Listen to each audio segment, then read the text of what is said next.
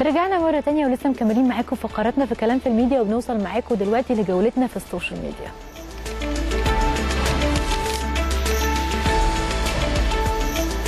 هنبتدي آه، معاكم مع صلاح محسن لاعب النادي الأهلي اللي نشر صورة على الإنستجرام من مباريات أو من تدريبات الفريق بعد ما تعافى من الإصابة وكتب يا رب.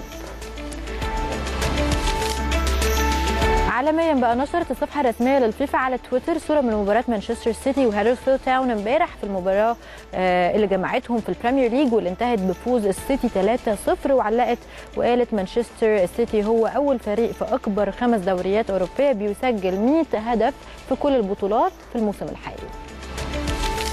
كمان نشر سيرخيو اجويرو لاعب مانشستر سيتي صورة من المباراة على تويتر وكتب ثلاث نقط للحفاظ على تقدمنا نحو القمة.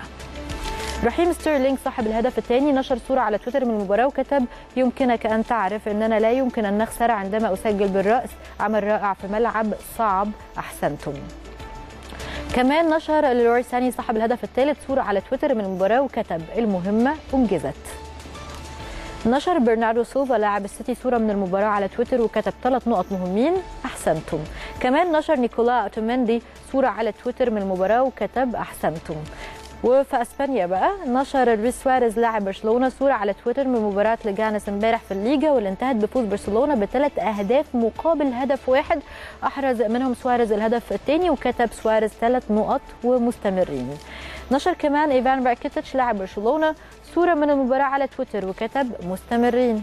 وآرثر ميلو لاعب برشلونة نشر صورة على تويتر من المباراة وكتب ثلاث نقط فوز مهم. نشر كمان كارلوس ألينا صورة من المباراة على تويتر وكتب ثلاث نقط للفريق. هنفكر دلوقتي في الكاس.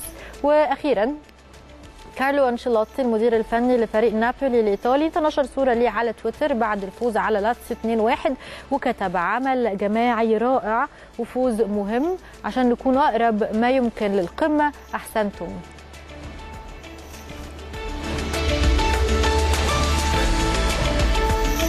مشاهدينا انتهت حلقتنا. النهارده أشوفكم إن شاء الله بكرة في حلقة جديدة من كلام في الميديا الساعة 5 مساء. يوم سعيد على حضراتكم.